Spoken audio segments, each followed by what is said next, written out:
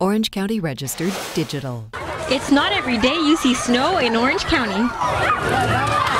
But there was plenty of it for Snow Day at the Anaheim White House restaurant. We brought it all the way down from the North Pole. Pretty exciting. Rudolph helped me, and so did Frosty. Today is a snow day. We invited 300 kids for the Boys Girls Club to play in the snow. Three tons of snow were brought in for kids from the Anaheim Boys and Girls Club. Many of these kids are from low income neighborhoods. First, the kids enjoyed a Thanksgiving dinner with all the fixings.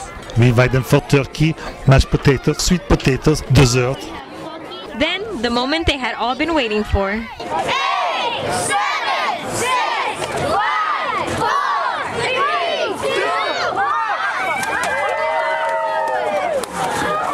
For these kids, being in the snow meant one thing snowball fights.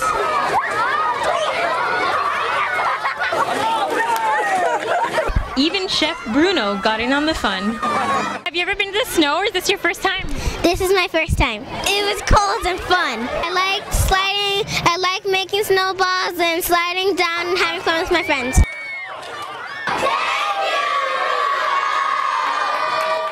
Orange County Register.